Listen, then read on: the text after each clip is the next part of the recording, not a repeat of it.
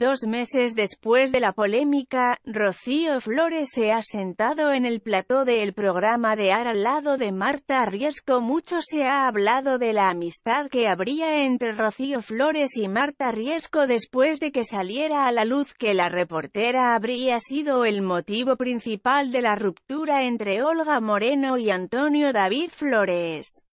Lo de la hija de Rocío Carras, amor a primera vista y es que enseguida encajaron. Tanto, que fue ella quien organizó el fiestón de cumpleaños a la joven, dejando entrever su magnífica relación.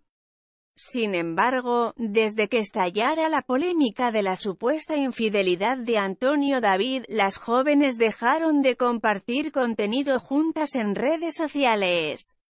Pasó algo entre ellas, este viernes, Rocío Fl han reencontrado públicamente en el plató del programa de Aria juzgar por su expresión corporal. Todo está bien entre ellas aunque se han mantenido en su lugar y no han intercambiado ningún tipo de comentario que nos haya permitido comprobar en qué punto está su amistad cada una situada a un lado de Patricia Pardo, ambas han dado su opinión sobre los temas de actualidad. Hablando de la controvertida paternidad de Pepe Navarro, Rocío Flores no dudaba en negar una afirmación que le había llegado a la periodista por parte del presentador en el que afirmaba que el hijo de Ivonne Reyes dudaba de la paternidad tras las cámaras. A mí ese comentario nunca me lo ha hecho, decía la joven dando la cara por Alejandro Reyes con quien compartió a Supervivientes 2021, esta vuelta al trabajo de Rocío Flores llega solo unas horas después de que su madre, Rocío Carrasco, reapareciera públicamente en la fiesta de Navidad de la fábrica de la tele, un tema del que no se ha pronunciado.